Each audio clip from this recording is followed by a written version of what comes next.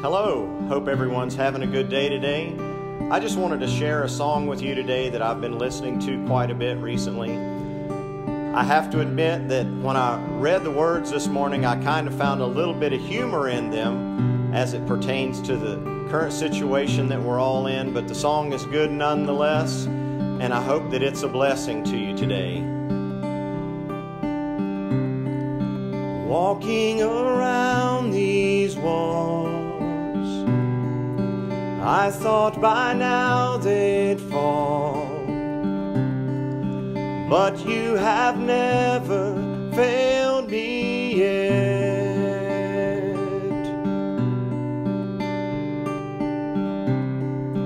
Waiting for change to come, knowing the battle's won. For you have never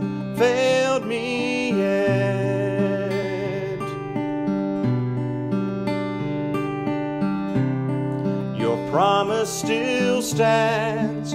Great is your faithfulness, your faithfulness.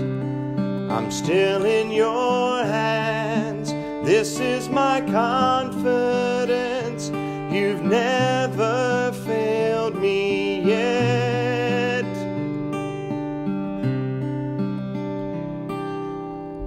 You know, God's promise does still stand, and His faithfulness is enduring forever. And even though we're going through a difficult time right now, it's good to keep our minds and our attention focused on the goodness of God and His faithfulness because He has never failed us. Later on in the song, uh, the song goes on to say, I've seen you move. You moved the mountains, and I believe I'll see you do it again. You made a way where there was no way, and I believe I'll see you do it again. See, many people believe that God can do things, but the question is, will He do it for you? Well, I have the answer to that question. God will do it for you just like He has done for others in the past. So hold on to His faithfulness hold on to his promises, and hold on to the goodness of God, and he will see you through.